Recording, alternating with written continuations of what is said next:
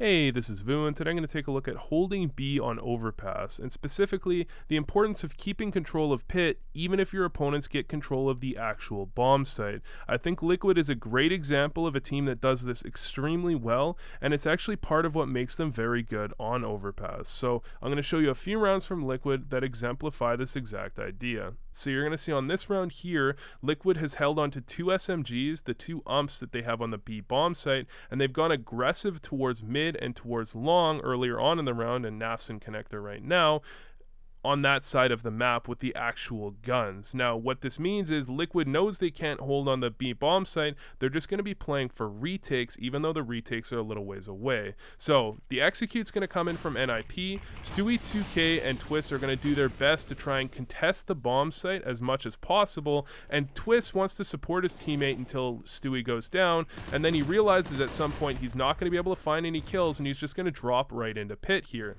Now, most of the time you would have the rotator here would already be in heaven and would be able to prevent the player here, Rez, from dropping into pit directly onto twists like he does here. However, in this situation, Rez realizes that he needs to try and clear out pit if he can so they can get forward control of the bomb site and have a reasonable afterplant situation. He's going to drop right down on Twist, but Twist is going to be able to find the kill. And now you can actually look at the way this map is playing out.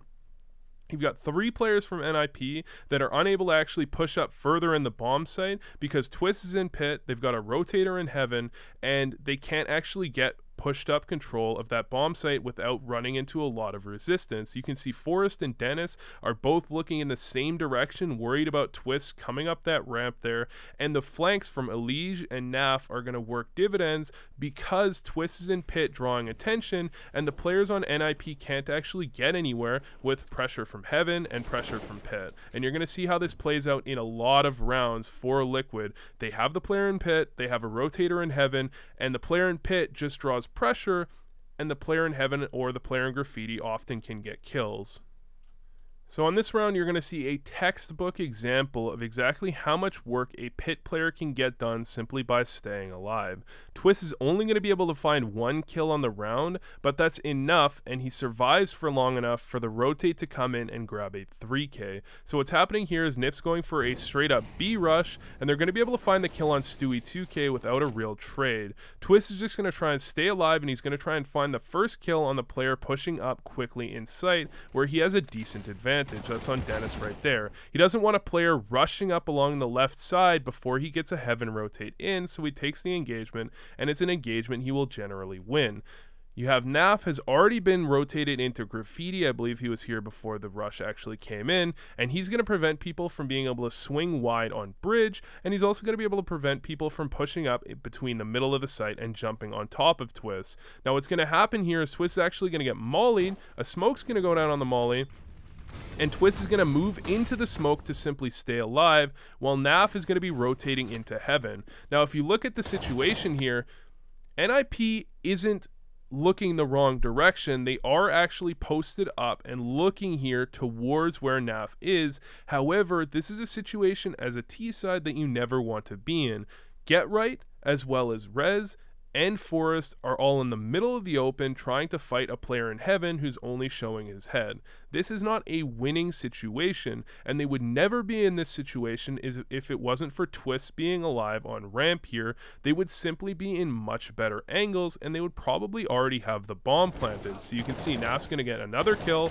Twist is even going to die to the molly while he's inside of the smoke, but simply too little too late for an NIP to grab that kill. Naf has already done the work. Now you might be thinking to yourself, why is NIP putting so much pressure on the player pit if they can just plant the bomb and back up? Well, the reality is that B site is incredibly easy to retake if you don't have short control and you don't have pit control. And very often Liquid does a good job of having short control on the retake.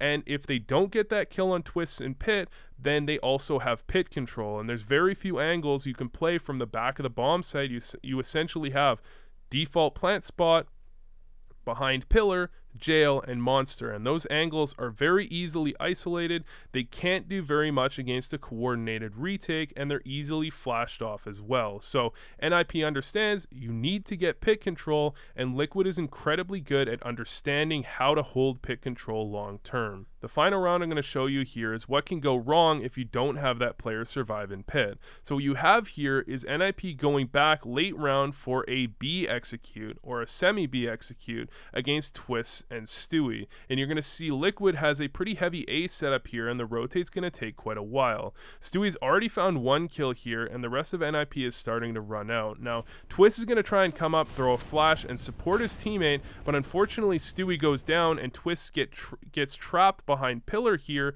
in the middle of the bomb site, and he doesn't think he's going to be able to jump out and get into pit, as well as the rotate's a little ways away anyways. So what happens is he tries to contest from Pillar, and he's going to get quite a bit of damage done.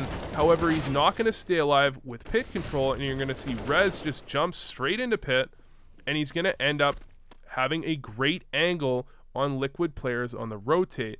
Now, again, Rez doesn't necessarily get a lot of kills from this position, but it changes the way that Liquid has to play the afterplant.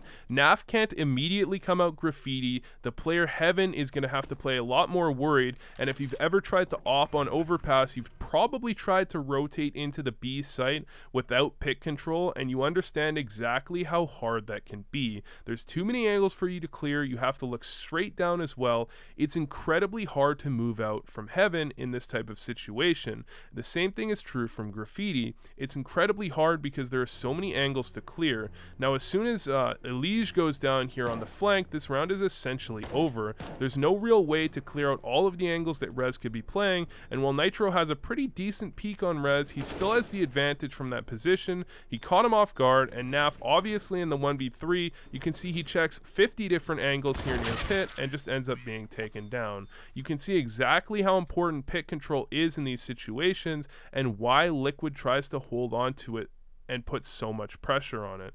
It wins them a lot of rounds, and it's part of why they're so good on this map. So thanks for watching, and I hope this helped.